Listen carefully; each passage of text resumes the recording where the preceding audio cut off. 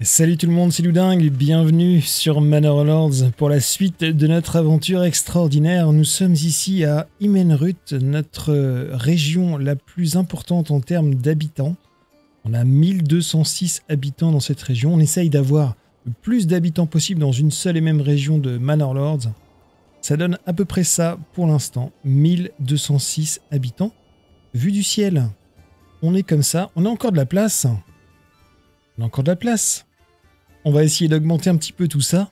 Je vous fais le point sur la carte pour euh, vous rafraîchir la mémoire. Ici en bas à gauche, on a la région de Nusloe. C'est une région qui fait essentiellement euh, du travail de fermage et également beaucoup de pommerées. On récolte beaucoup de pommes. Et cette région, c'est une région nourricière pour notre région principale de Imenrut. On essaie d'avoir le plus d'habitants possible. Troisième région, on a Echeno ici, petite région 205 habitants actuellement. C'est une région où nous avons des baies sauvages à profusion et on essaye de fournir un maximum de baies à Imenrut pour essayer de tenir en termes de nourriture. Quatrième et dernière région au nord ici, Goldolf.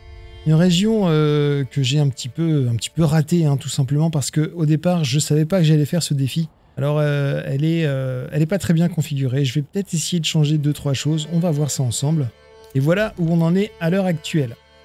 Donc en tout, ça nous fait plus de 2200 habitants. Mais ce qui compte, j'avais dit, c'est cette région ici de Imenrunt, avec la plus grande ville possible dans Manor Lords.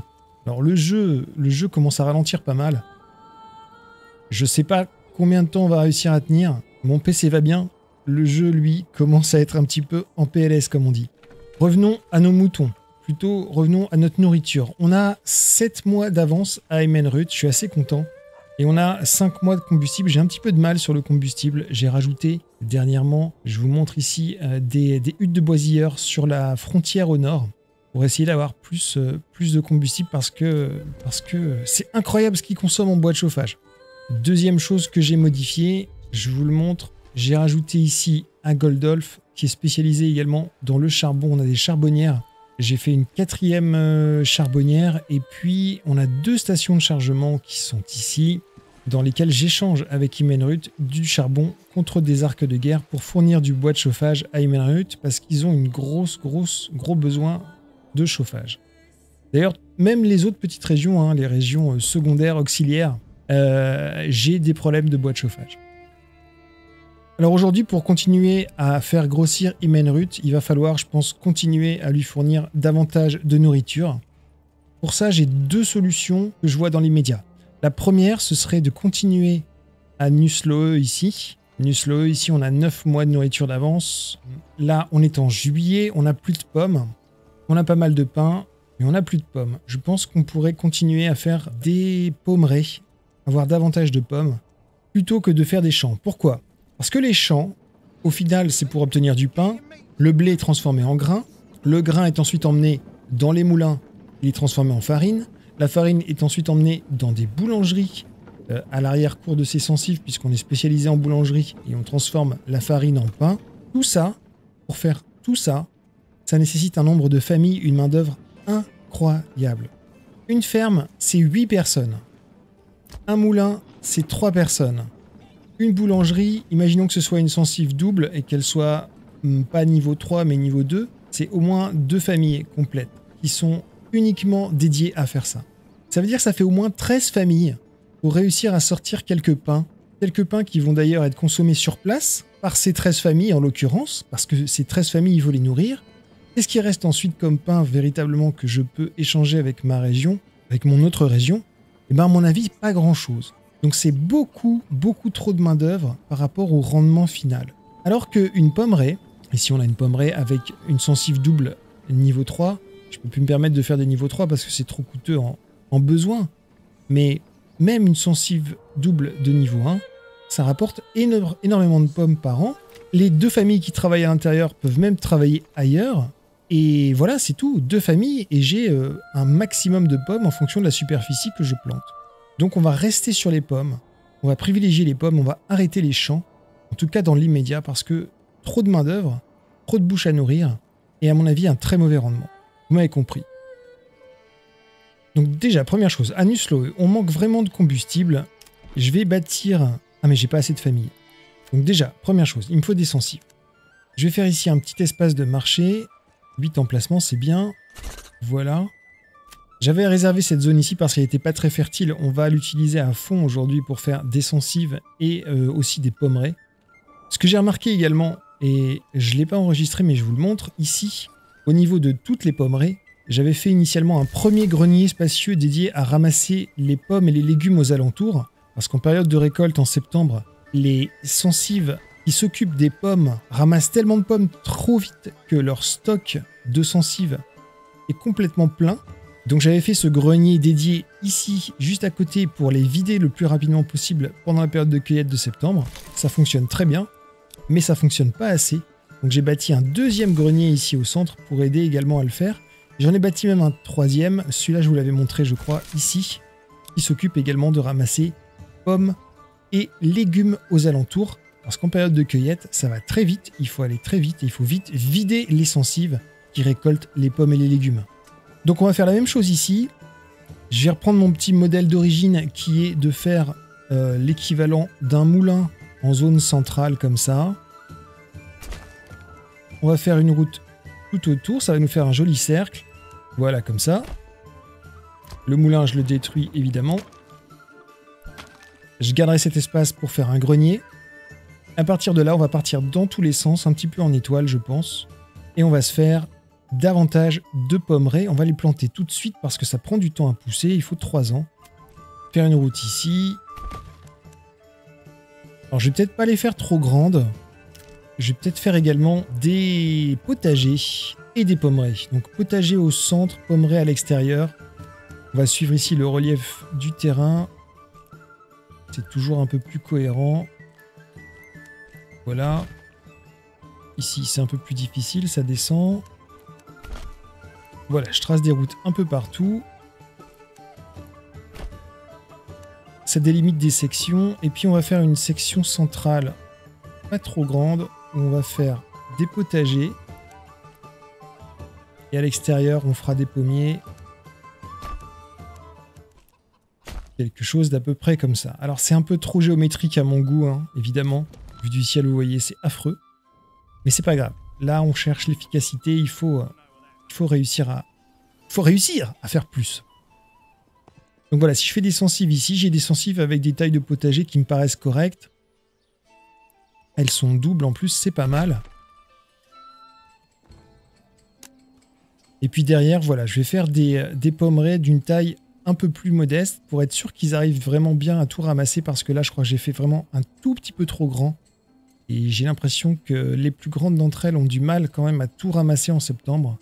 Je, je suis pas sûr, j'arrive pas exactement euh, voir, mais je sais que j'ai encore, malgré mes trois greniers qui aident à vider, un problème de, de sensives qui sont pleines. Vous allez voir, on est en août, vous allez voir, c'est bientôt septembre. On va regarder ça ensemble. Voilà, donc j'ai tracé des sensives sur toute la partie basse de ce nouveau cercle, ce nouveau Rundorf. On va les laisser construire. Et la seconde chose importante qu'on va faire aujourd'hui, c'est on va s'établir dans une nouvelle région pour avoir encore davantage de nourriture. Alors qu'est-ce qu'on a? On a Sveio ici, tout en haut à droite de la carte, avec des baies sauvages à profusion et des animaux sauvages en ressources abondantes. Ça, c'est une zone qui serait vraiment très intéressante. On pourrait, avec un point de développement, aller chercher la gestion des forêts pour doubler les capacités des baies. On pourrait à terme mettre en place la politique de terrain de chasse pour que le site de gibier aux ressources abondantes d'animaux sauvages se reproduise deux fois plus vite rapidement.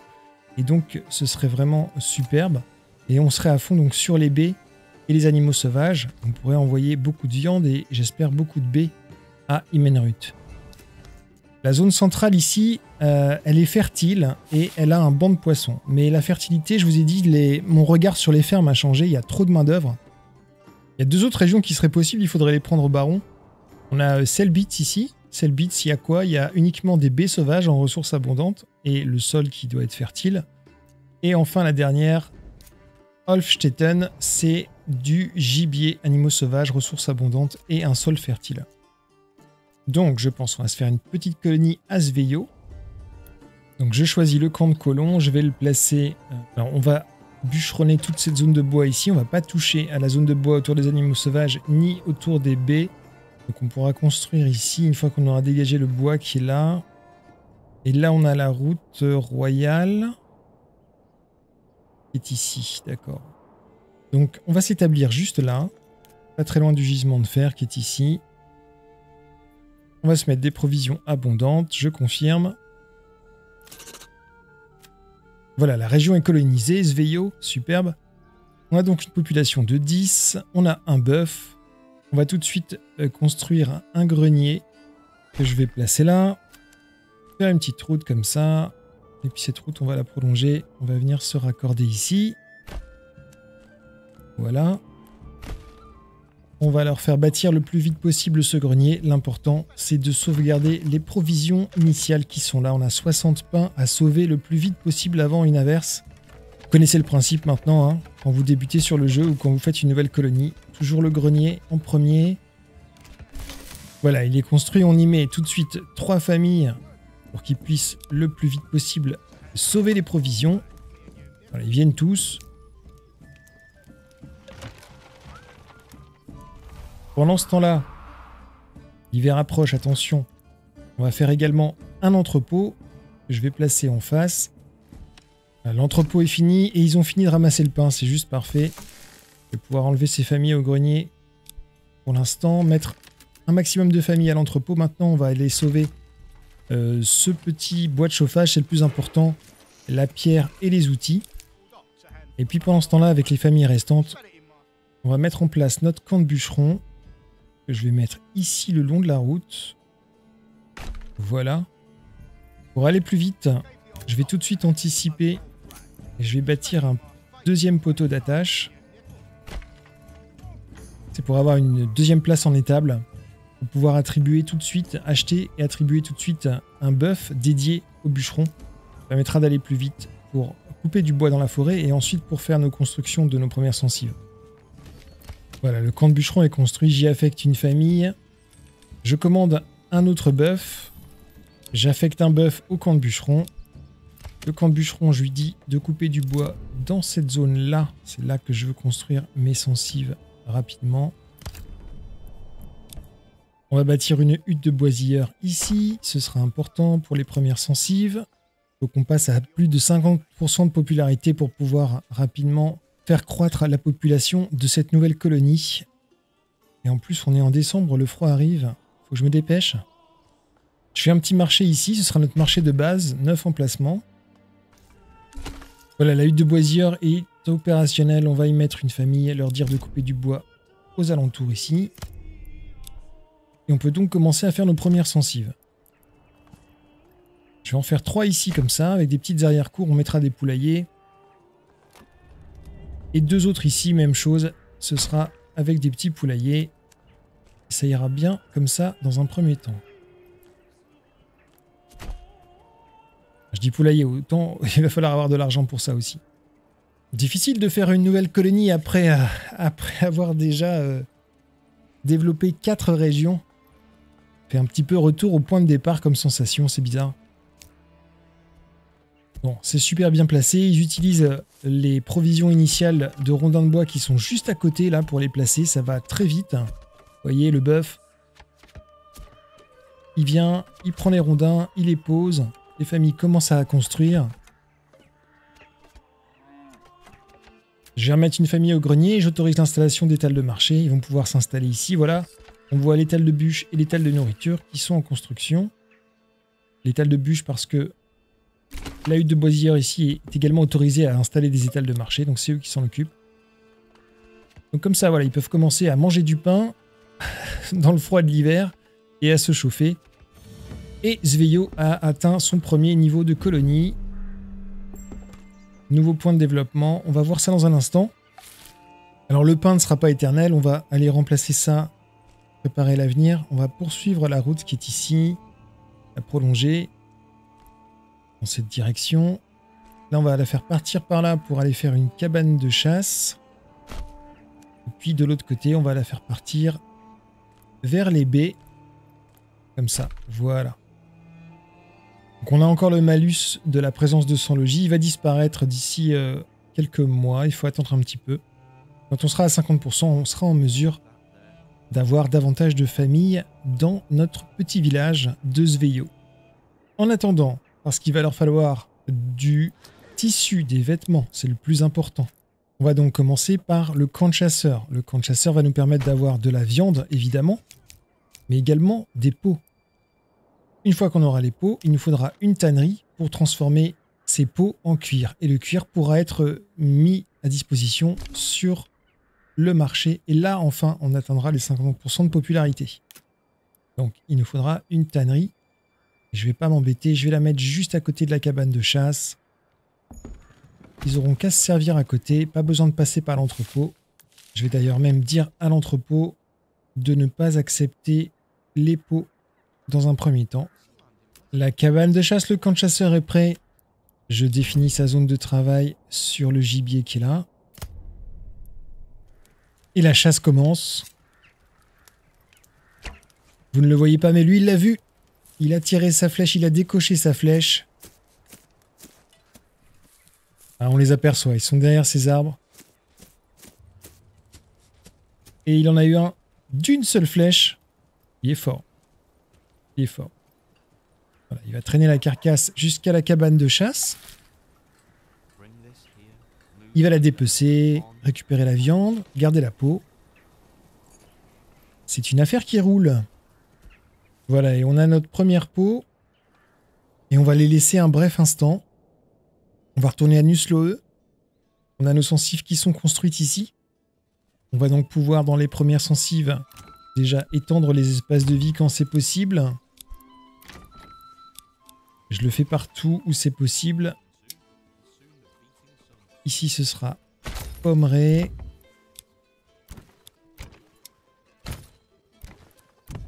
Voilà, j'étends les espaces de vie partout c'est possible. Voilà, on reviendra plus tard. On va retourner à Sveio. Donc ça y est, on a une variété de nourriture au marché grâce à la viande. Première viande. Et le pain. Combien il reste de pain? On a un surplus de 19 pains. Il faut vite qu'on se dépêche. Ok, pour obtenir un maximum de popularité, il va nous falloir une église également.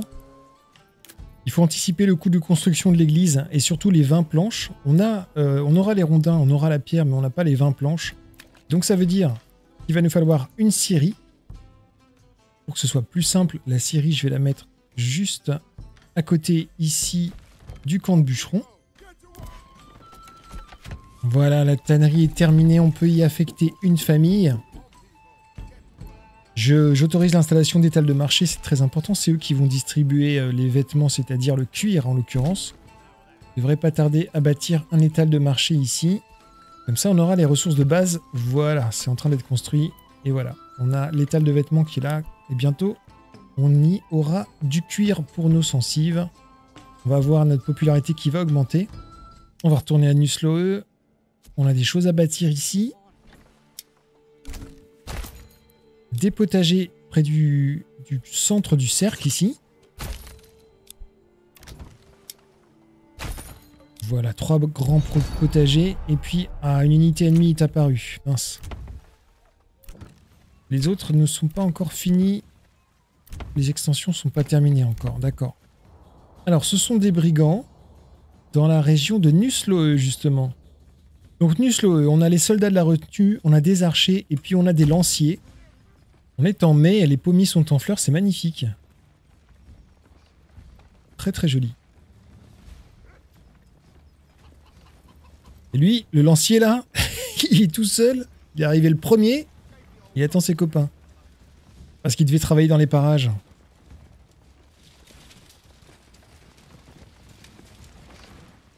Je sais pas du tout où sont passés les brigands. Ah si, là. Dans les bois ici. Donc c'est bon, on s'est placé au bon endroit. La retenue est fatiguée, il faut vraiment que je les laisse se reposer. Les archers commencent à tirer. Bon, ça va être un combat très simple, hein, je vous le cache pas.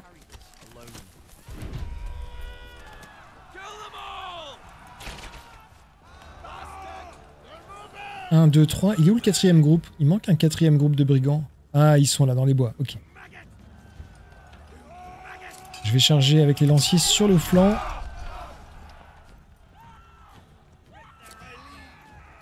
Dire aux archers de tirer autant qu'ils peuvent sur le quatrième groupe de brigands qui arrivent. Oh, qui vont sur nos archers. Donc, je vais renvoyer les lanciers sur eux. Pour les bloquer, voilà. Voilà, c'est presque fini. Il reste qu'un seul... Non, il reste deux groupes. Un seul groupe. Ça va très vite. Bataille avec en arrière-plan les pommiers en fleurs.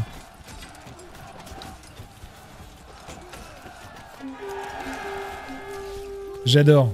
Super. Bon bah voilà, une belle victoire encore pour le Seigneur Doudingue. C'était absolument pas équilibré comme combat, mais c'est pas grave. J'aime bien les archers qui continuent de tirer sur les fuyards ici. Ils, sont, ils ont la rage, ces miliciens archers. On va, les dissoudre et les renvoyer au travail.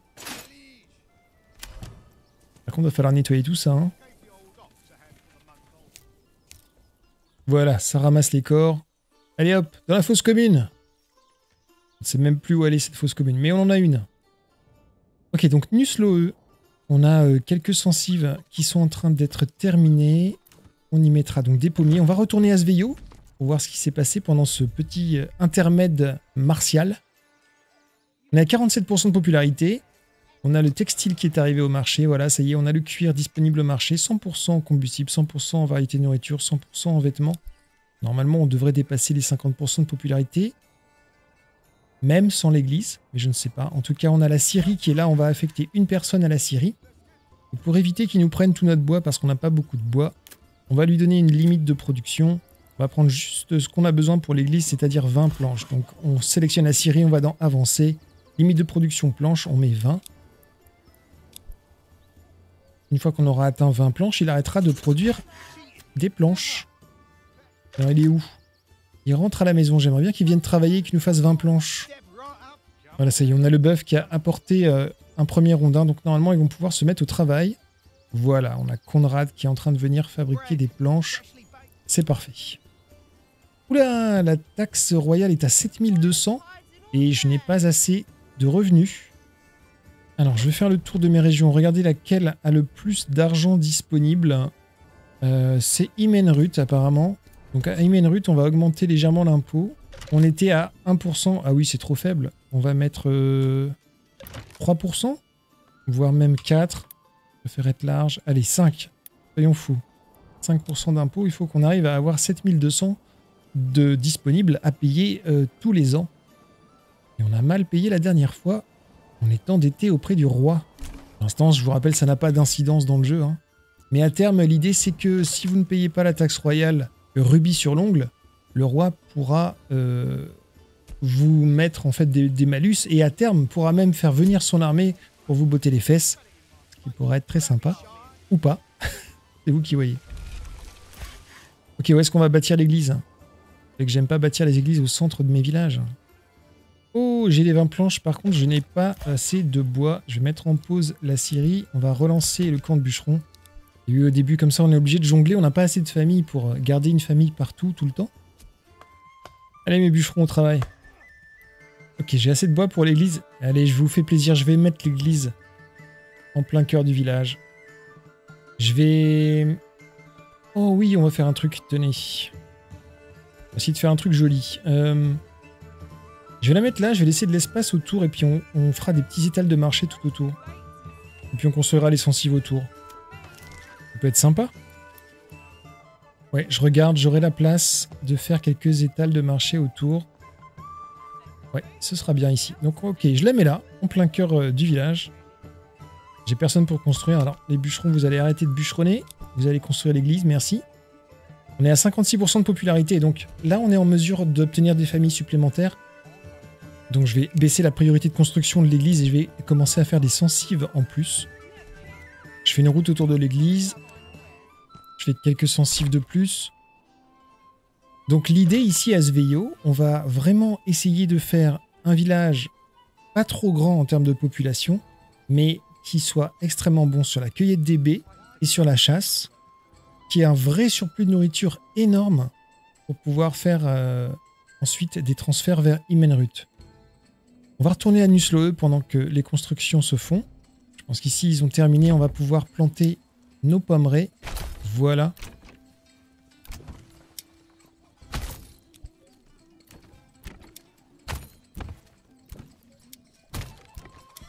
Je mets des pommerées partout. Je regarde, on a 9 mois d'avance de nourriture et 4 mois de combustible. Donc la région est stable. Mais on est en juillet, on a déjà plus de pommes parce qu'on a tout transféré à Imenrut. On a encore un bon surplus de pain en revanche. Alors ce que je peux peut-être faire ici au niveau des stations de chargement, c'est en changer une. Une qui faisait un transfert de pommes, je vais la modifier, mettre le pain à la place. Voilà. Et je vais aller à Imenrut et je vais vérifier qu'on a toujours des arcs de guerre puisque c'est ma monnaie d'échange pour le troc. Oui, c'est bon, on a toujours des arcs de guerre, un bon stock de planches, un bon stock de bois. 9 mois d'avance de nourriture. Oh, c'est bien, ça, se, ça, ça, ça, a augmenté depuis la dernière fois. Et combustible 7 mois. Ah bah, super stable. Très bonne production de légumes, hein, parce que nos dernières euh, sensives construites, elles sont toutes là. Ça fait, je trouve ça très joli d'ailleurs. Ce sont uniquement des sensives comme ça, avec euh, des, euh, des potagers. Alors, désolé pour le clipping, hein, vous avez les légumes qui apparaissent au fur et à mesure, mais... Mais voilà. c'est la cueillette des pommes en septembre et euh, les sensives débordent de pommes. Et on a donc nos greniers aux alentours qui euh, essayent au maximum de vider les sensives. J'ai quand même des messages comme quoi le garde-manger est plein, le garde-manger est plein, sensive, sensive, le garde-manger est plein. Ils sont en train de les vider au fur et à mesure. Là, c'est nos trois greniers que je vous ai affichés. ils sont en train de les vider au fur et à mesure. Mais au début septembre, quand ils commencent à cueillir des pommes, très très vite, les sensives sont pleines et débordent de pommes. Et donc là, on voit le chiffre de pommes qui augmente. On est à plus de 1000 pommes déjà. 1100 pommes. Je ne sais pas jusqu'à combien ça va aller. 1200. On est en octobre. On est à 1200 pommes. Et je pense que là, il y a déjà des transferts qui sont en train d'être faits vers Imenrud. Donc ça ira pas plus loin. Ce qu'on peut commencer à faire en revanche ici, c'est la même chose. Construire un grenier ici de manière centrale dans notre nouveau petit Rundorf ici. Alors l'entrepôt est plein dans notre nouvelle colonie de Sveio. Pourquoi? Ah, il y a beaucoup de bois de chauffage. 15 mois d'avance. Un petit peu beaucoup. Pour l'améliorer, il me faudrait 10 planches. Donc je vais relancer la scierie. Et tant pis pour la construction de l'église, ça attendra un petit peu. On est à 73% de popularité. Donc là, on peut, on peut développer euh, la population euh, de cette nouvelle colonie. Je vais d'abord obtenir mes 10 planches de la scierie, améliorer l'entrepôt, en faire des entrepôts spacieux. Et ensuite, on fabriquera deux ou trois nouvelles sensives, histoire de réussir à avoir une famille dans tous nos lieux de production et de logistique. Voilà, ça y est, on a nos 10 planches. Mettre en pause la scierie temporairement. Et je vais lancer l'amélioration de l'entrepôt. Ah, il me faut des rondins, j'ai pas assez de rondins. Oui, je manque de famille. Hein. Le, bûcheron, euh, le camp bûcheron était en pause également. Ah, je prolonge la route ici. On va faire des sensives supplémentaires. Anusloe, le grenier est construit. On va y affecter trois familles. On va surtout le paramétrer. Je vais y autoriser uniquement la nourriture. Et puis surtout, je vais lui donner une zone de travail limitée. Je vais lui dire de limiter sa zone de travail à ces sensives qui sont autour de lui ici. Les sensives avec les potagers et les sensives qui gèrent les pommerets. Comme ça, en septembre, normalement, c'est trois familles. Et je n'autorise pas l'installation d'étals de marché. Je veux vraiment que ces trois familles s'occupent uniquement de vider les sensives lors des périodes de récolte. Elle commence déjà, on est en mars, à vider les légumes. On est en mars, on n'a plus de pommes. On a encore pas mal de pain. Donc je pense que je vais retourner encore une fois aux stations de chargement qui sont ici. Échanger un échange, un troc de pommes ici. On va changer, on va mettre le pain à la place vers Imenrut. Ce qui fait qu'à Imenrut, on doit être pas mal niveau nourriture là. On est à 7 mois de nourriture d'avance, 8 mois de combustible d'avance. On va pouvoir faire des constructions supplémentaires. On va continuer de s'étendre un petit peu sur la partie centrale qui est ici. Je fais des sensives simples, on y mettra des poulaillers.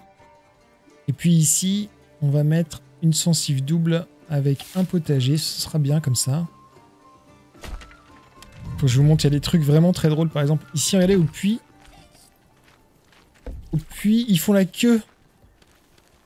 Ils font la queue pour prendre l'eau au puits. Vous vous rendez compte? C'est comme ça partout en fait. Ça commence à être comme ça partout. On va construire un puits supplémentaire. On va le placer là. C'est vraiment quelque chose qu'on oublie facilement. Bon, ça y est, l'église est construite à Sveio. Commence à ressembler à un petit village? À 80% de popularité, on est bien. Les trois dernières sensives sont construites également. On commence à avoir quelques familles supplémentaires. Je vais pouvoir mettre une famille, relancer la Syrie. Est-ce que j'ai bien au moins une famille partout? Oui, c'est bon. Ça s'accumule un petit peu dans la tannerie. On va mettre une seconde famille à l'entrepôt. Oh, l'entrepôt d'ailleurs, j'ai oublié. Voilà, il fallait que je l'améliore en entrepôt spacieux, je l'avais pas fait. On va faire ça le plus vite possible. Et puis on y mettra euh, au moins trois familles. Et ce que je peux faire, c'est mettre une deuxième famille à la cabane de chasseurs également. Et puis il nous faudrait notre première euh, cabane de cueilleurs, notre première hutte de cueilleurs. Je vais placer ici au bout de cette route, à côté des baies. Et mais ça me fait penser que j'ai pas construit depuis du tout ici en fait. Comment ils font les pauvres? Je vais mettre là, à l'angle ici, ça, ça m'a l'air pas mal. Derrière l'église. Voilà, l'entrepôt spacieux, les entrepôts spacieux sont construits. Je vais mettre une seconde famille dedans. La hutte de cueilleur est également construite. Je vais la configurer, mettre la zone de travail sur les baies. Voilà, il me manque juste une famille de disponibles, mais ça ne saurait tarder. En train de bâtir trois sensifs de plus ici, autour de l'église. Voilà, on commence à avoir des familles supplémentaires. Je vais mettre une famille au B. Ils vont aller chercher leur petit panier, ils vont commencer à cueillir. Ça nous fera donc deux sources de nourriture disponibles sur les étals de nourriture, puisqu'on a déjà épuisé le pain depuis longtemps, le pain initial de lorsqu'on avait créé la colonie. Et on va pouvoir atteindre les 100% de popularité et continuer à se développer très rapidement à partir de maintenant. On n'oubliera pas d'envisager de faire un manoir rapidement pour avoir quand même la retenue, les soldats de la retenue pour nous protéger en cas d'attaque de brigands. Après, on est juste à côté de Goldolf quand même, donc on n'est pas non plus, euh, on n'est pas non plus mal placé. Et puis à Echenot aussi, on a des soldats, donc on peut aussi défendre si jamais on se fait attaquer avant d'avoir un manoir. Je vais refaire des sensibles supplémentaires à Imenrut, notre ville géante.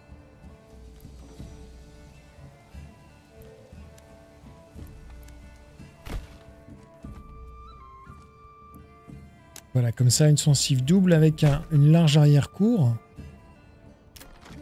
J'utilise toujours le même motif de manière à avoir comme ceci en fait un grand, une grande arrière-cour de forme plutôt euh, un petit peu carré, pas trop profond en longueur, avec des sensifs doubles. On va avoir deux familles, sensifs niveau 1, pour pouvoir travailler dans un potager de taille raisonnable. Alors, une bande de pillards, où sont-ils? Ils sont à côté de Goldolf. Et c'est là qu'ils vont justement. Goldolf, c'est une ville qui va pas très bien, il faudrait que je m'en occupe. Je peux pas être au four et au moulin. Voilà, on va combattre ici.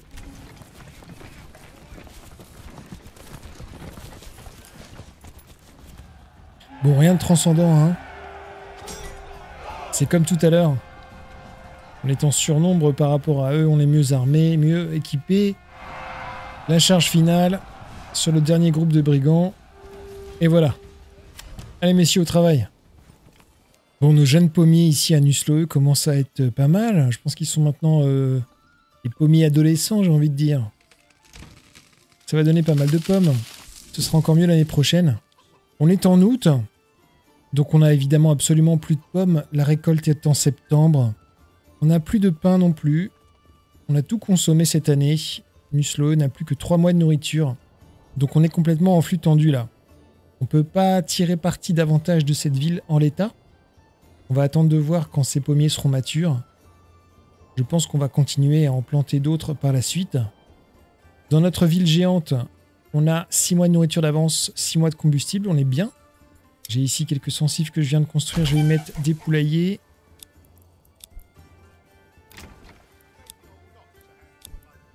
Je vais construire davantage de sensibles. On va essayer d'augmenter un peu plus la population quand même.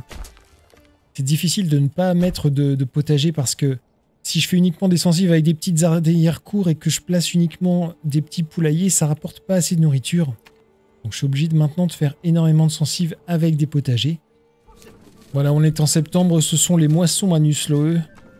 Et en voyant ces paysans ramasser le blé, je vois déjà les petits pains chauds qui sortiront des boulangeries. On a vraiment besoin.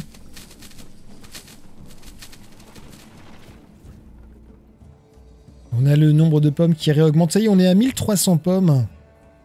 Grâce sans doute à nos euh, nouvelles, nouvelles hein, qu'on a plantées, qui sont maintenant euh, assez matures, je pense. Pas encore adultes, mais sans doute l'année prochaine. 1300 pommes par récolte, c'est pas mal. Mais c'est pas suffisant, il va falloir faire plus. On peut voir le grenier dédié ici, hein, qui s'occupe vraiment de vider les sensibles au fur et à mesure qu'elle récolte les pommes et puis les légumes. 1400 pommes. On a un total de... Non, on a un total de 1300 pommes, ok. Oh, le baron, c'est pas possible. Bah oui, il est toujours là. Alors, euh, le sondage aux dernières nouvelles, ça donne quoi? Ça donne que vous êtes une majorité à vouloir qu'on se débarrasse définitivement du baron. Mais certains d'entre vous aimeraient bien aussi qu'on fasse une énorme bataille finale avec la plus grosse armée possible. Euh, ça veut donc dire avoir le maximum de soldats de la retenue, c'est-à-dire un manoir par région. On vient d'avoir une cinquième région. J'ai pas encore construit de manoir, donc ce que je vous propose, on va affronter le baron encore une fois aujourd'hui. En tout cas, on va se préparer. Et puis on essaiera de faire donc une grande, grande, grande armée pour faire une très, très grande bataille finale. Alors on est à 1269 habitants dans notre région, la région la plus grande. On n'a pas atteint les 1300. Ça prend du temps. J'y vais euh, petit pas par petit pas. On va résoudre le conflit sur le champ de bataille. La guerre est déclarée. La bataille aura lieu évidemment ici à Selbitz, hein, comme d'habitude. C'est un peu toujours ce qui se passe en ce moment. les troupes du baron euh, traversent Nusloe. Nos villageois crient. C'est la panique. Ils sont là, ils passent à côté du manoir.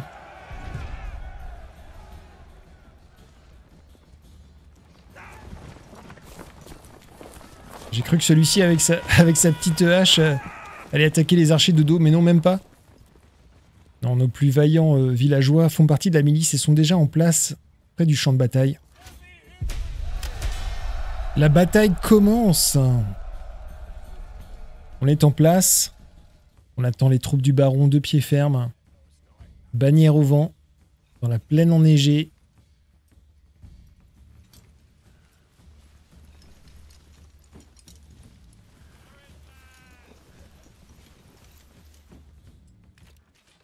Ça y est, nos archers décochent les premières flèches. Les archers ennemis sont arrivés les premiers. Je vous propose de nous retrouver dans un prochain épisode pour voir le déroulement et l'issue de cette bataille contre le baron. Et comme d'habitude, je vous dis merci pour vos likes, merci pour vos nombreux commentaires. On se retrouve très vite pour la suite. Portez-vous bien, jouez bien et à très bientôt. Ciao ciao